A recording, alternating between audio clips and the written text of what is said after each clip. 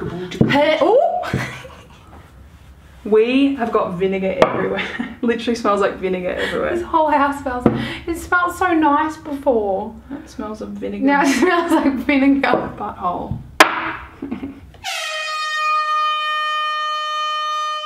Hello and welcome to an episode of Cheapskate Lesbian. Cheapskate. Cheapskate. Cheapskate. Cheap the cheapskate lesbian. lesbians. My name's Hannah My name's Ash. and together we're team Ha because my name starts with H and her name starts with A. And because we're funny. So we, we live in North Melbourne and one of the challenges of people around our age is that we don't have a lot of money. How do you spend money and make it go further and spend it on things that are valuable and add purpose to your life? So we also like making homemade things, a lot of homemade shit, because it saves money. We do this because we're lesbians, because it's better for you, it's good for the environment, and it's fun. And also if there's an apocalypse, we'll still have good skin and less sweat pit stains. Very recently, our kombucha, or as I like to call it, our consumption, K-O-M. I got it, that was clever. It's dropped because we were spending so much money on kombucha. And what I did, and something I like to do quite often, which mm. Ashley friggin' hates, is that I tally the amount that I've spent in a particular area of my life over an extended amount of time. Just makes me feel bad knowing. Yeah, well, You don't want to know. it spurs me to action, eh. which is why I do it. It just makes me cry. So I've done a tally Oh, of no. the amount of kombucha that we spent in a year.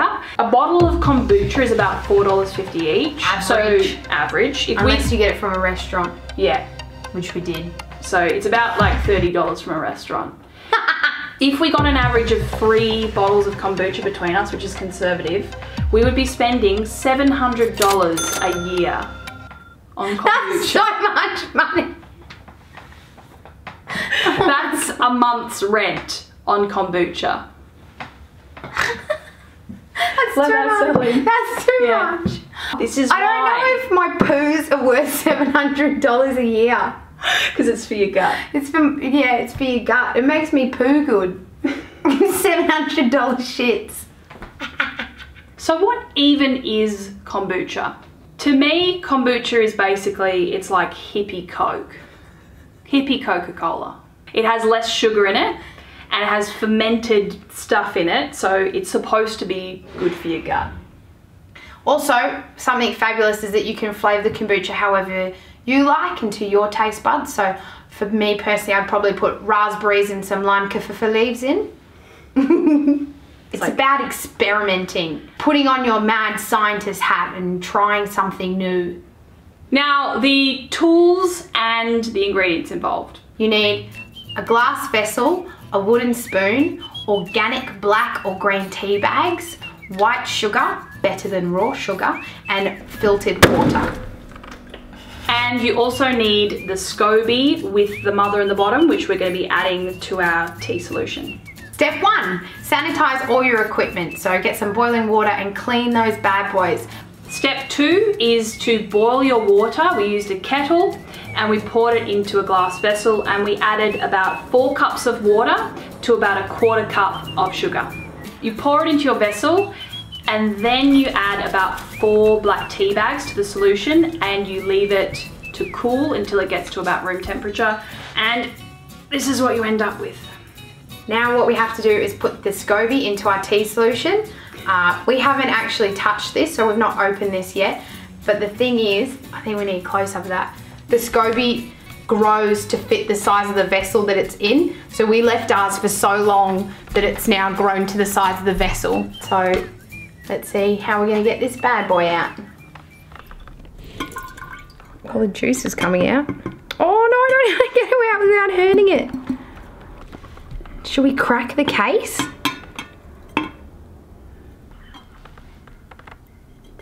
I feel like I'm hurting it.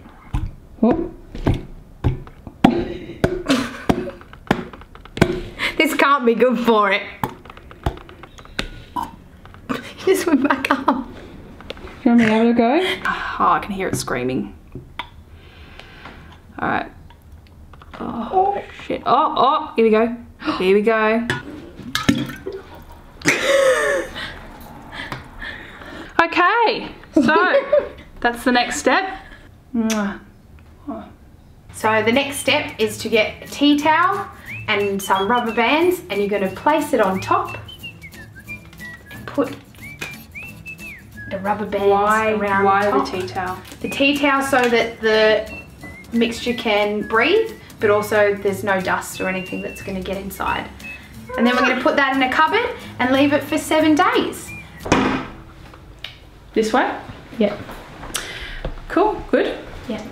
So that was, so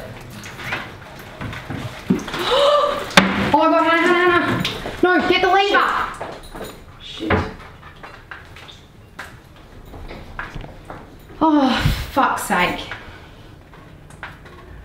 So you also need to remember uh, not to press the lever, which is what I just did, and uh, it poured all over the cupboard. But there's still a decent amount of liquid in there, so we'll be having um, half a glass of kombucha each in about five days' time. It's a lot. Ah, it's dripping. So after you've spilt your tea everywhere, you want to leave it in the cupboard for about five days and it will start to bubble just slightly, which is quite natural. Have a little drink, have a little taste. And then we, what we're gonna do is a double ferment. So we're gonna pop it back up there for another seven days. And then we're gonna pour a bit of it out into containers and we're gonna put those containers in the fridge. We're gonna leave the mother liquid, some of the liquid and the SCOBY in that large vessel to make some more kombucha later on. And we're gonna add our flavors. So how do you think that went, Ashley? I mean, we poured most of the kombucha solution out now Into the toaster. into the toaster. So now we can't have toast or tasty kombucha probably. We probably poured out half the sugar.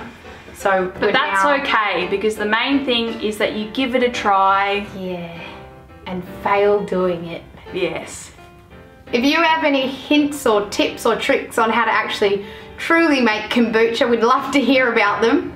Uh, in the meantime, don't forget to subscribe, comment below, or like the video, and we will see you Next time. next Thursday. Next Thursday. Next Thursday. Thursday. Okay. Bye. Love you. Love you. Love you. Bam, bam, bam,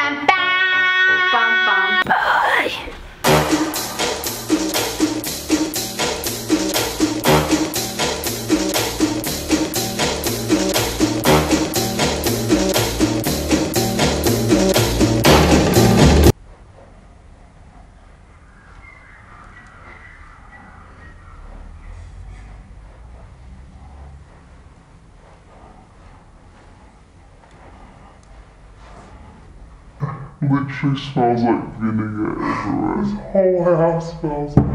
It smells so nice before. It smells of vinegar. Now it smells like vinegar butthole.